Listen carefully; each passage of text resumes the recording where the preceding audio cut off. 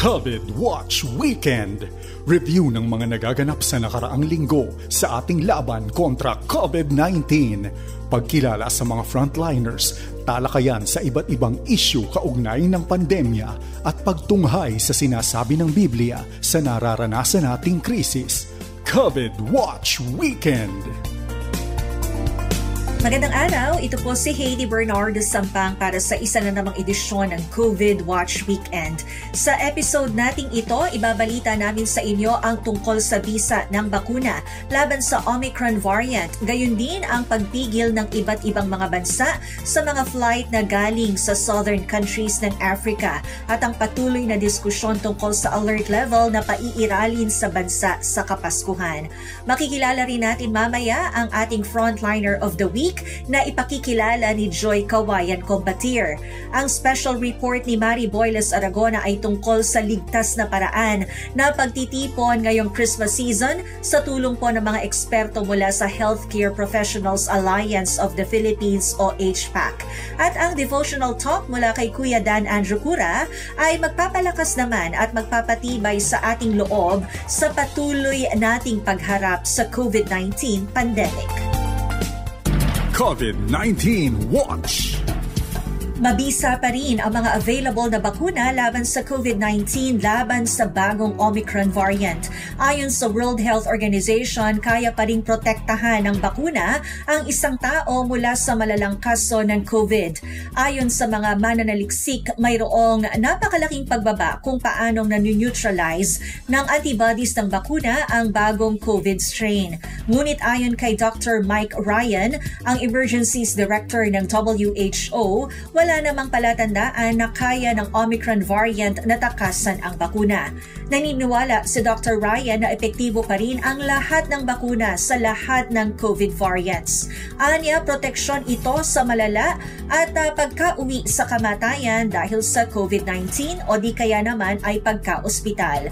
Sang-ayon anya sa mga paunang data, mild lamang ang nararanasan ng mga kinapitan ng Omicron variant kumpara sa mga pasyente noon ng Delta at iba pang strain. Dismayado si World Health Organization Director General Tedros Ghebreyesus sa ipinataw na travel restrictions sa mga flight mula Southern Africa kung saan unang na-detect ang bagong COVID-19 variant na Omicron. Kasabay nito, pinuri ng WHO chief ang South Africa dahil sa pagiging transparent nila sa pagbabahagi ng mga impormasyon ng kanilang bansa tungkol sa Omicron. Samantala, isinama naman ng ating IATF sa red list countries dahil sa banta ng Omicron ang bansang France. Nagsimula ito nitong December 10 at tatagal hanggang December 15. Dahil dito, ang mga darating na pasaherong mula sa France sa nakalipas na labing apat na araw ay dapat na sumailalim sa facility-based quarantine sa loob ng 14 days at sasalang sa RT-PCR test sa ikapitong araw. Samantala, simula naman 12.01 ng December 13 hanggang December 15 ay pagbabawalan munang makapasok ang mga pasaherong galing sa France sa nakalipas na 14 days kahit sila ay fully vaccinated na. Tanging ang mga Pinoy na uuwi lamang sa pamamagitan ng government o non-government initiated repatriation at bayanihan flights ang pinapayagang makapasok sa bansa at sa sa ilalim pa rin sa testing at quarantine protocols.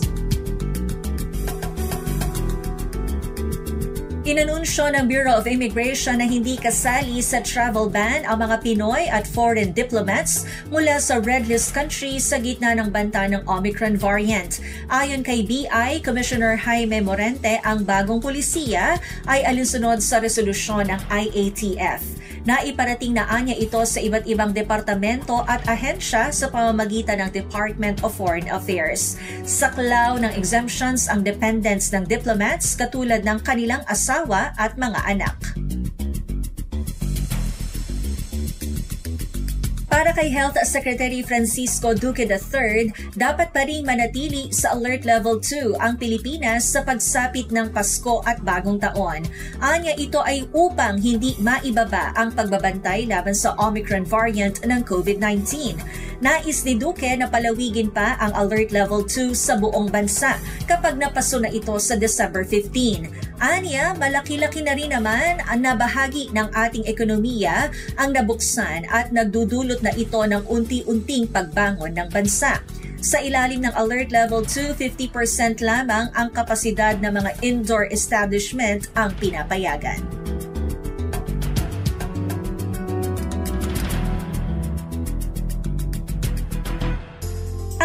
Frontliner of the week ay si Ms. Heidi Templonuevo, ang OIC Provincial Information Officer ng South Cotabato.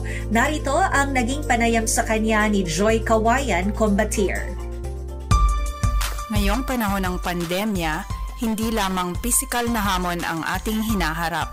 Meron ding hamong dala ng mga infodemic kung saan marami ang mga naglilipa ng false at misleading information – isa ito sa mga ibig matugunan ng South Cotabato Provincial Information Office sa pangunguna ng kanilang officer in charge na si Miss Heidi Templo Nuevo. Ibinahagi ni Ma'am Heidi ang kanilang ginagawa upang makapagbigay ng tamang impormasyon sa publiko frontliner kami no in the field of giving information sa mga tao. Hindi kami medical worker pero when it comes sa pagbibigay ng mga impormasyon, frontliner tayo. Kami government media, nag-work from home na ang ibang mga empleyado pero kami sa Provincial Information Office ay hindi kami nag-stop. Halos araw-araw, andyan pa rin kami. Ma-remember ko noon, umaga may press con, pagkahapon meron pang emergency press con. So, ang purpose niyan is, uh, aside na makaabot ang impormasyon sa mga tao, tamang impormasyon ang maibibigay natin. Kasi yung mga ni-interview natin, nakasalang as resource persons, ay yung persons in authority talaga. Hindi yung haka-haka, kahit sino-sino lang magbigay ng mga impormasyon. So, yung tamang tao na maka makapagbigay ng impormasyon, yun ang sinasalang natin for the press conferences.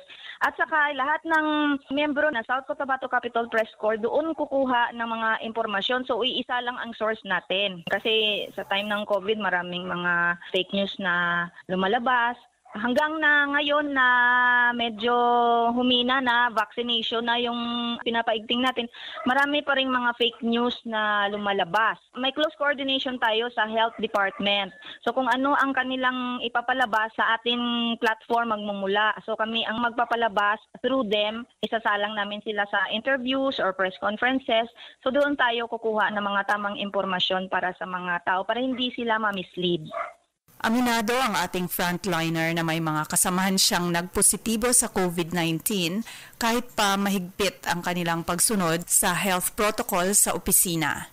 Ibinahagi niya ang kanyang mga ginagawa upang mapaglabanan ang mga hamon ng COVID-19.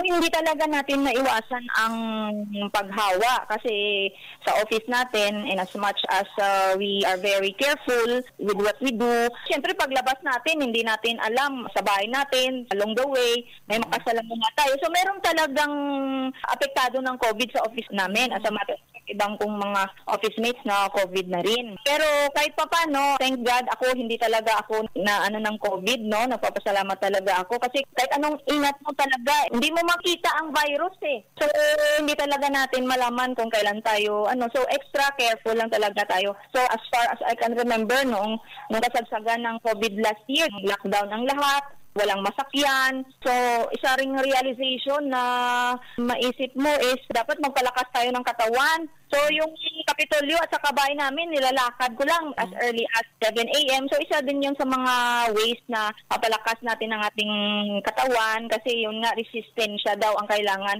sa COVID. Di ba, ma-remember mo, naging plantito, plantita tayo. Ang lahat ng mga gulay, kinakain na natin. Mm. Nagba-vitamins tayo para na just in case ma-COVID tayo. So, meron tayong mga resistensya. Para sa ating frontliner, may mga positibong dulot ang COVID-19 despite the pandemya, siyempre ang outlook natin positibo pa rin. So since uh, na-lockdown yung pamilya natin, naging closely knit, nandito parati ang mga bata natin, ang family natin, Uh, isa yun, naging prayerful tayo, di ba? Yun lang naman ang sandigan natin. Una-una, prayerful tayo. Naging sandigan natin ang Panginoon kasi yun talaga makasalba sa atin. Kahit na anong na ingat mo, bakit na COVID ka pa rin. So, through the grace of God, protektahan ka niya. Yung mercy talaga ng Panginoon, isa yun sa brighter side, naging malapit tayo sa Panginoon, nananalangin tayo na naipalayo tayo sa mga sakuna, sa mga sakit. Number two is yung family natin, uh, nakakasama natin. And pangatlo, di ba mahirap ang buhay sa panahon ng pandemya. So, so since uh, lockdown, walang face-to-face class, so medyo nakatipid.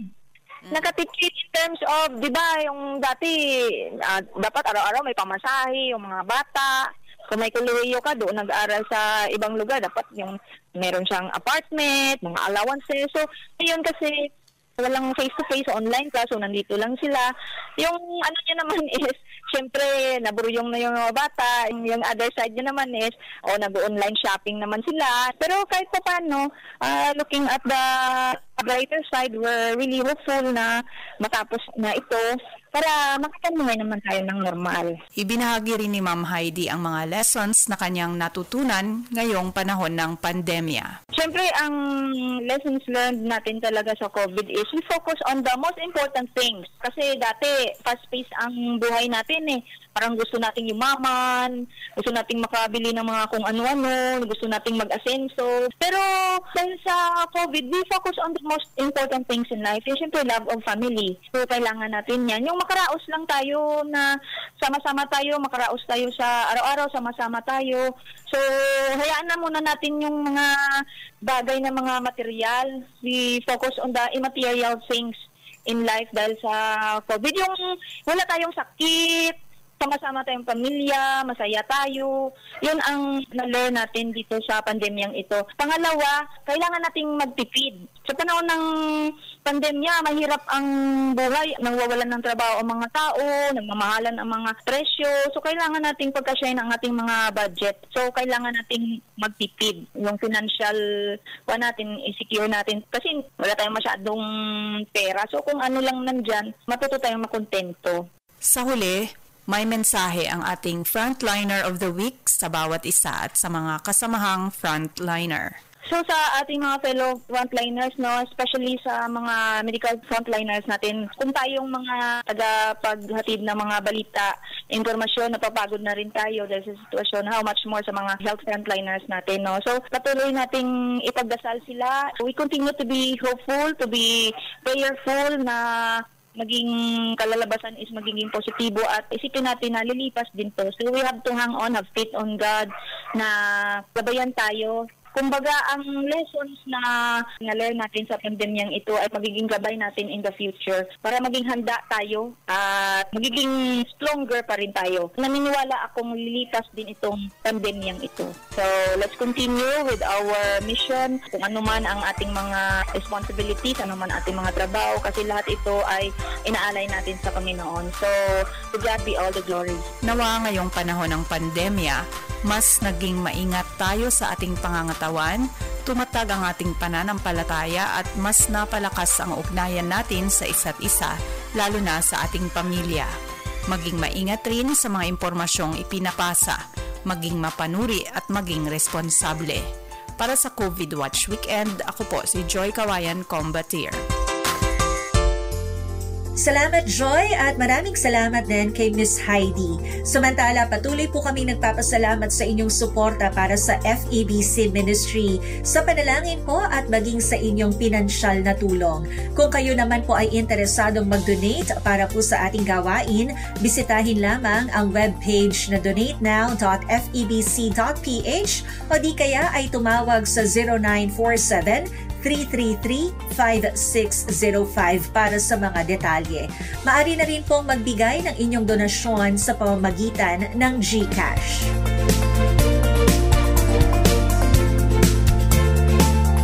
Sa ating special report, maririnig natin ang ilang mahalagang paalala mula po sa isang eksperto galing sa Healthcare Professionals Alliance Against COVID-19 o HPAC. Tatalakayin ni Dr. Annalisa Ong Lim kung paano maging safe ang ating pong mga pinaplanong pagtitipon sa Christmas season na ito. Nitong mga nagdaang araw ay nakapagtala na ang bansa ng mas mababang bilang ng mga kaso ng COVID-19. At dahil full swing na ang holiday season, maraming mga Pilipino ang nagbabalak na magkaroon ng selebrasyon ng Pasko at bagong taon ngayong taon. Pero ligtas nga ba ang gatherings ngayong Kapaskuhan sa gitna ng banta ng bagong variant ng COVID-19 na Omicron? Iyan ang tinalakay sa programang Doctors Online kung saan nagbigay ng mga paraan upang ligtas na makapag pagdiwang ng Pasko, si Dr. Annalisa Onglin, ang Chief ng Infectious and Tropical Disease Section ng UP PGH. For now kasi, no, we really don't have a lot of information about Omicron in terms of infectiousness or yung tindi ng sakit na kanyang dinadala. Pero hindi naman nagbago yung paraan kung papaano siya banghawa. So kung ganoon pa rin yung transmission style niya, yung method of transmission, di syempre yung ginagawa natin should be effective still, no? Siguro ang kalaban natin ngayon, uh, natapat sa Kapaskuhan kasi itong balita tungkol sa Omicron. And syempre alam naman natin kahit wala yung Omicron, talagang ang ating behavior during the holiday season is gusto nating magsama-sama, gusto nating magkaroon ng opportunities no to socialize. Yun talagang pinag-iingatan natin. Whether or not Omicron is here, our message is really let's celebrate the Christmas season safely. And we can do this by following our minimum public health standards. Let's try to strike a balance between safe celebrations and yung ating kagustuhang magkaroon ng mga festivities ang importante, again, going back, no, intindihin natin kung paano ba kumakalat itong sakit na to. And if we understand that the main drivers are really droplet and aerosol transmission, yun ang pag-iingatan natin. Karaniwan, sinasabi talaga natin mahalaga yung magandang ventilation doon sa venue. So kung kayang outdoor, ang piliin pinakamaganda. Tapos, let's keep the uh, masks on for as much of the program as possible. So siguro yung pinaka-challenge is paano tayo magsasalo-salo kumain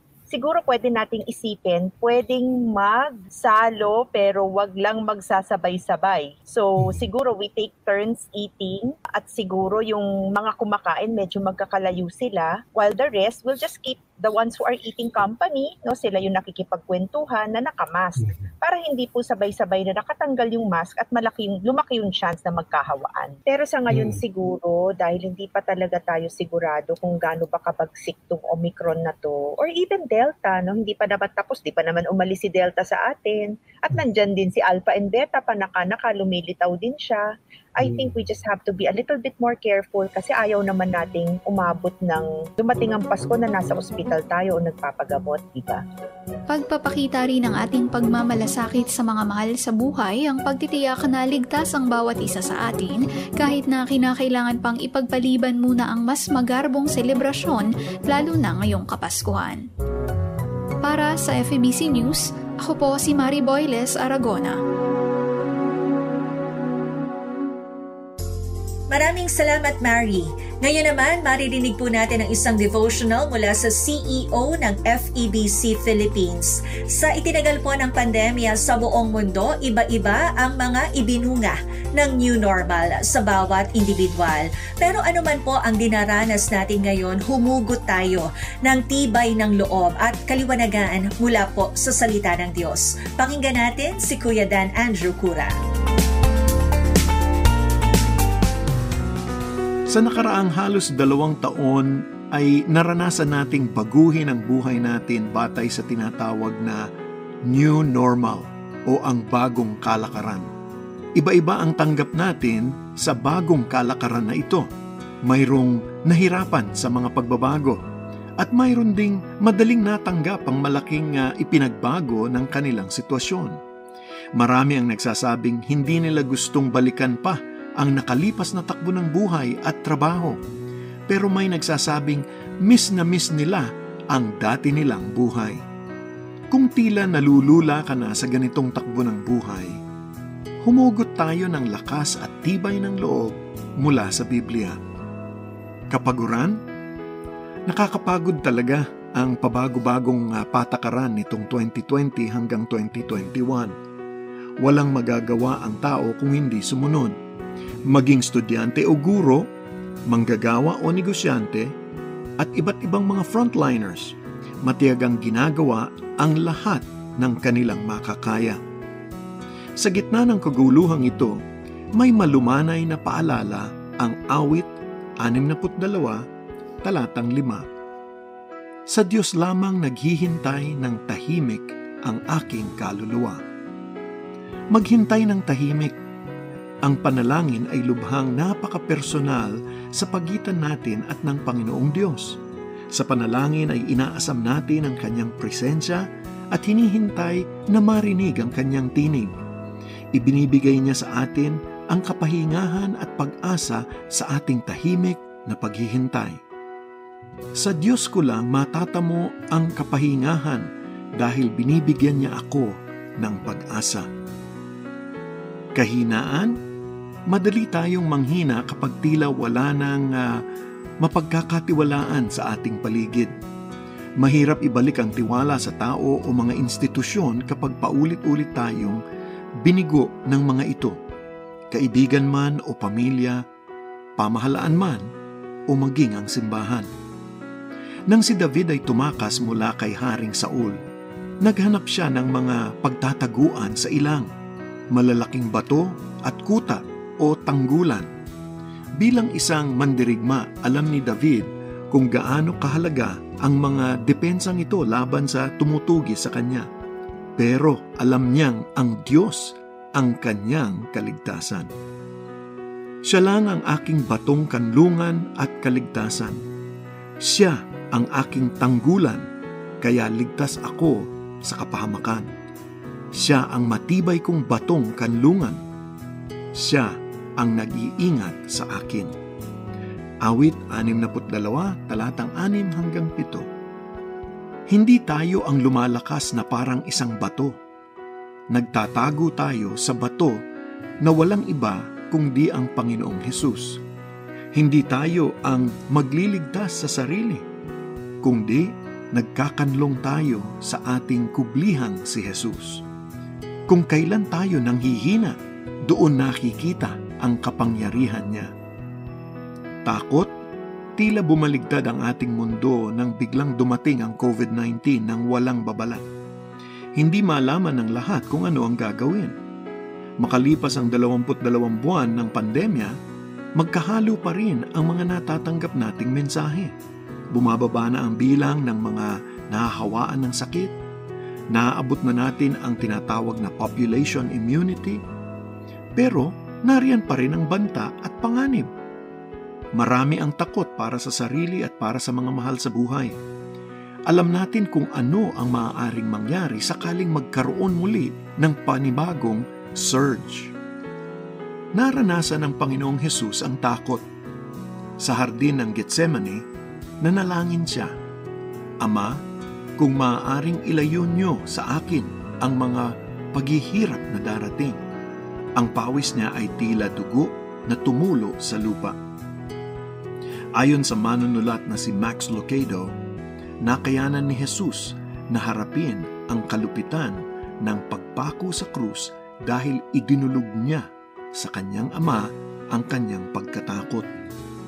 Isinabuhay niya ang awit 56, talatang 3. Kapag ako'y natatakot, magtitiwala ako sa iyo.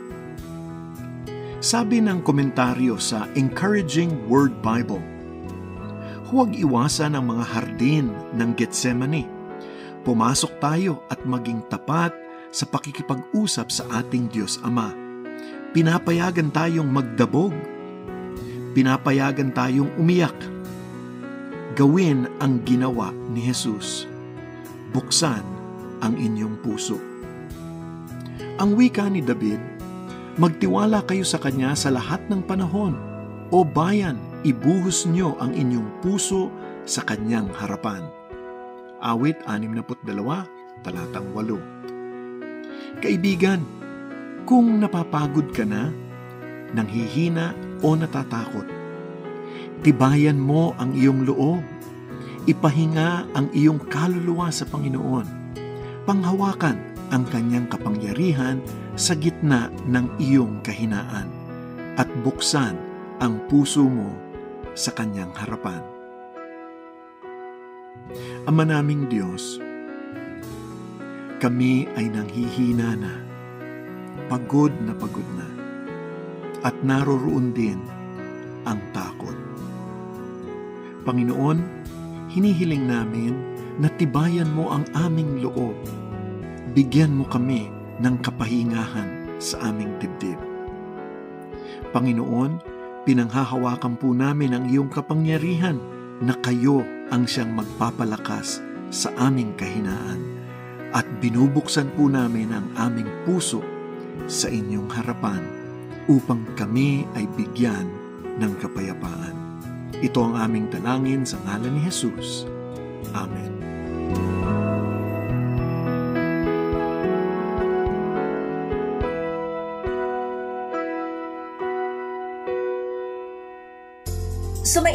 Isa na namang edisyon ng COVID Watch Weekend para sa linggong ito. Tandaan po natin na laging may tugon ang Diyos sa anumang nararamdaman nating kapaguran, panghihina o takot dulot ng tumatagal na epekto ng pandemya. Hanggang sa susunod na COVID Watch Weekend, sa pangalan po ng ating buong pangkat, ako po ang inyong nakasama, Heidi Bernard Sampang. Lagi po nating tatandaan, basta't laging handa at sama-sama sa kanyang lakas, kaya natin to. Subaybayan ang COVID Watch Weekend, linggo-linggo para sa napapanahong impormasyon at pananaw sa pagharap ng bayan sa krisis ng COVID. Para sa inyong mga komento at tanong, sundan ang mga Facebook page ng FEBC Philippines.